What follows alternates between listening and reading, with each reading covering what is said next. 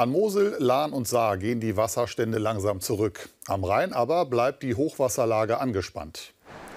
Wegen der Wassermassen dürfen zum Beispiel auf dem Rhein bei Koblenz derzeit keine Schiffe fahren. Einige Straßen wie hier in Fallendar sind überflutet. Laut Prognose steigen die Pegelstände des Rheins teilweise noch weiter an.